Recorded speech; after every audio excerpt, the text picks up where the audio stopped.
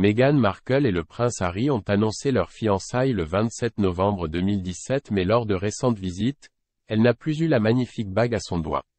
Le prince Harry a proposé à Meghan Markle une superbe bague trilogie, comportant un gros diamant flanqué d'un plus petit de chaque côté. Ces dernières semaines, la duchesse a été photographiée sans ce vêtement. Express a déjà parlé au bijoutier de luxe Wheel of Diamonds à propos de ce fantastique cierge magique.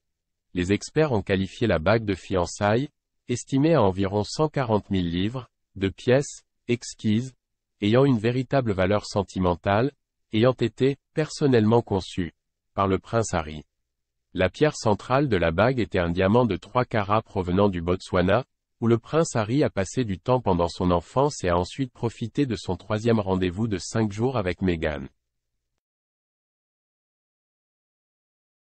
Il est flanqué de deux diamants plus petits, environ un carat chacun, sélectionnés dans la collection personnelle de la princesse Diana.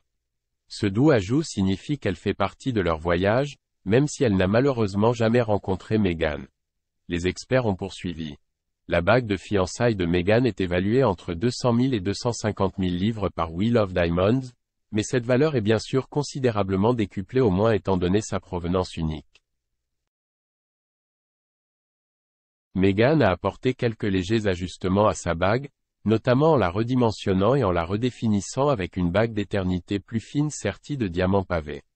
On pense que cela a été réalisé par Lauren Schwartz, responsable de certains des moments de joaillerie les plus emblématiques du XXIe siècle. Lauren Schwartz a également contribué à la création de la bague d'éternité de Meghan, un cadeau pour marquer le premier anniversaire de mariage du couple avec un clin d'œil touchant à son fils Archie.